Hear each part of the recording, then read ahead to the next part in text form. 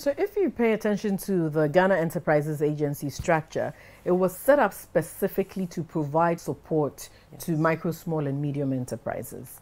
And what kind of support are we talking about?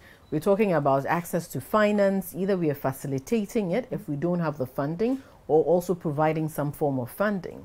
What we also do is actually hinged on three other pillars, which is business development support services, which is where we provide through to start your businesses, small business management, mm. branding, packaging, a whole lot of um, topics and services that we provide. We also provide regulatory support because we're a government mm, agency. Mm, mm. And so where we're providing them access to Ghana Standards Authority, Food okay. and Drugs Authority, we have discounted pricing and a partnership with these institutions so it supports um, MSMEs across the nation. Okay. Then we also provide technical skills support. So there's some people who might have um, a business, but they don't have enough skills to continue to write, run it. Okay. Or, you know, you might be a fashion designer, you need extra skills to be able to do certain things. Mm. We mm. provide that kind of support. Okay. And to be able to do that, and that's why I always say government is really important in this process, is that we have a decentralized system. So across the country, we have 209 offices and 37 business resource centers, which are one stop shop for business development. And all of this was put in place because we realized that you need to take BDS or business development services to the doorstep of the person. Mm. So you talk about the fact that they might not show up because to them, it's far away from where they mm. are.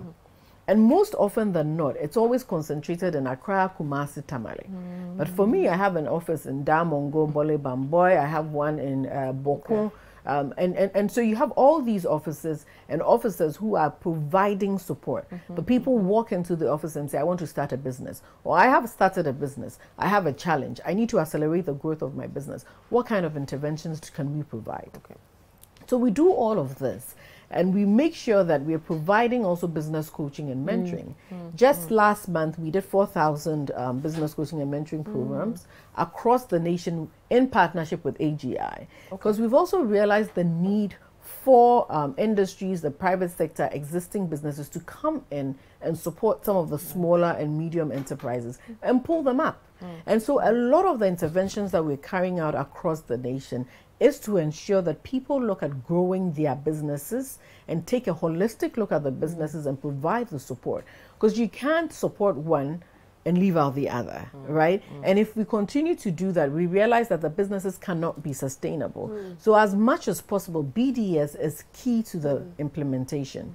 If you pay attention to our numbers, we, in the past four years, we've done 600,000 BDS provision to 600,000 plus individuals and businesses, all because it's important for us to transform the economy by providing support to these entrepreneurs, to their MSMEs, to watch them grow. If not, mm -hmm. they will stay where mm they are. Mm. Micro forever, informal forever, um, not going anywhere forever, but they want to grow. Exactly. And so mm. that's where we play a role. And that's why decentralization of our business development service is also key to the work that we are doing. Fantastic. Okay.